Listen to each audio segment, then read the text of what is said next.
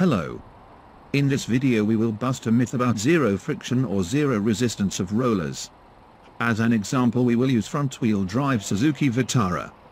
Watch the lateral test and focus on the rear wheel. If roller was not resisting, it would spin on its own axis while the wheel would remain at standstill up to the point when tire catches the frame. But as you see, it's the opposite. When car starts to move forward, roller itself is not spinning at all, while the wheel is spinning around the roller like it was on a solid ground.